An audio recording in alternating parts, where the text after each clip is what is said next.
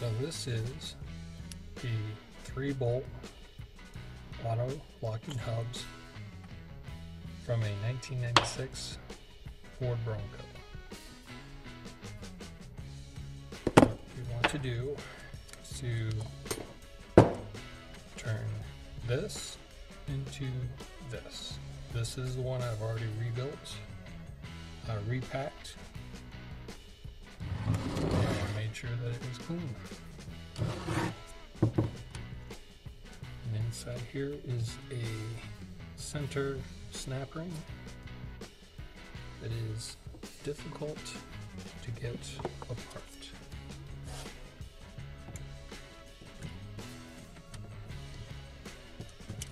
Let's see if I can clean some of it.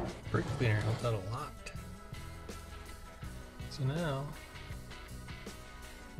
you can see those two pinholes really well.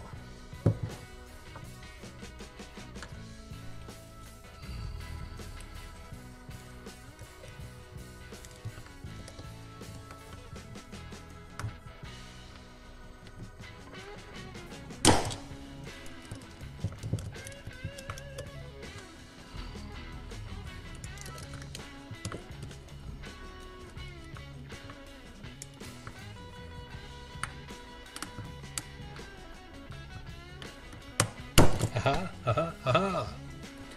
Finally, a little growling. That is the pin, or the lock ring.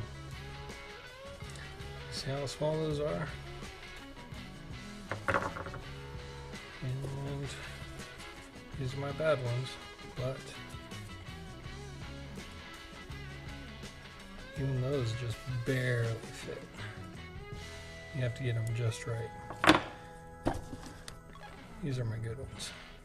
Yes, I know they have removable tips on them and I could change those, but you know, whoever knows where they put the interchangeable tips.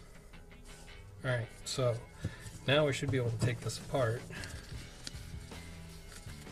So these uh, three crowns here, it's actually a another piece that you have to put on first before reassembling this. I'll show you. It's got suction on it. Let's see if we can't get it up. That's what she said. After a lot of brake cleaner and a lot of pounding and prying, I finally got this to separate get the bearing to separate off the pedestal.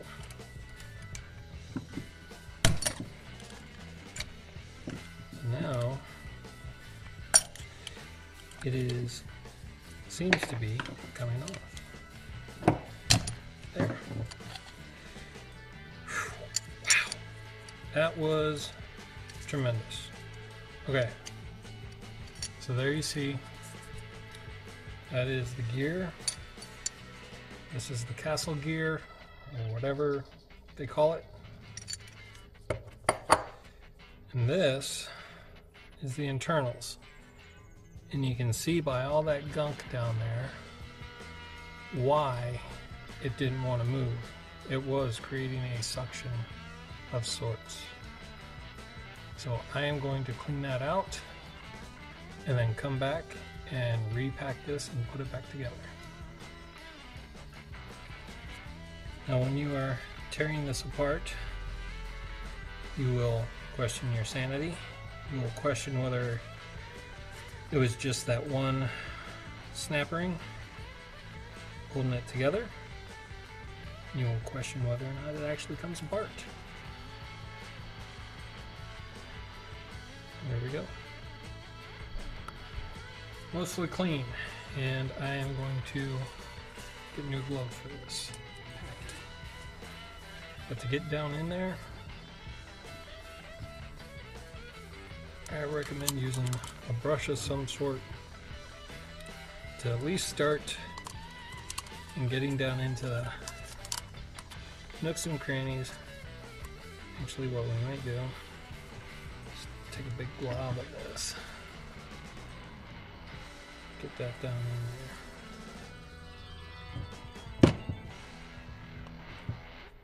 And then take the brush, push it around.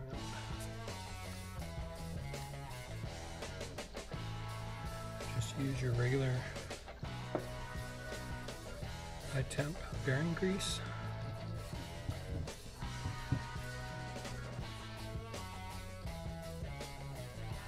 Alright, once we got that all lubed up. Ah, Almost forgot, didn't I? I almost forgot. Again. Fix that up.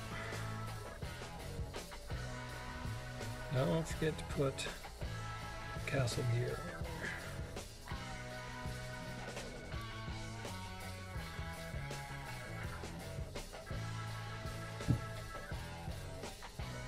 Put it on the internal gear before you insert the internal gear or you're going to take it apart.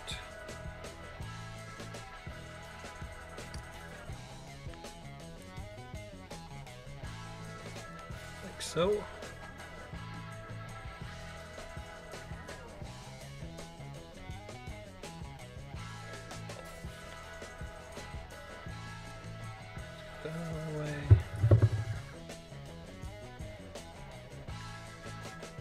should just fit in. And now I have to force it down. Alright, and you're left with a nice hefty mess.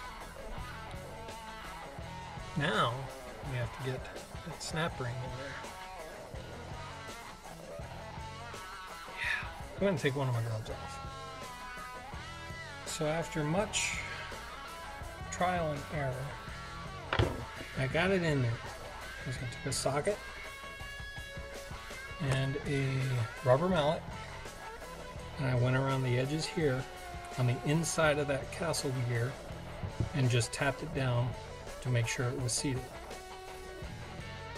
So on one side of the snap ring of the holes here, I held it down to where it was going into the groove of the of the pedestal, and then I took the small um, screwdriver and I went inside and I pried it over, and that gave me enough uh, to have it sit on that pedestal that's on the inside, and then go around with my screwdrivers and push it the rest of the way down. And that's how I ended up getting it on.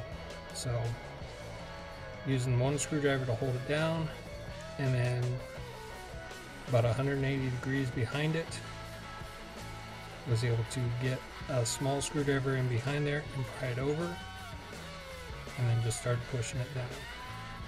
That took forever. A lot longer than what I expected it to. So I got both of them done.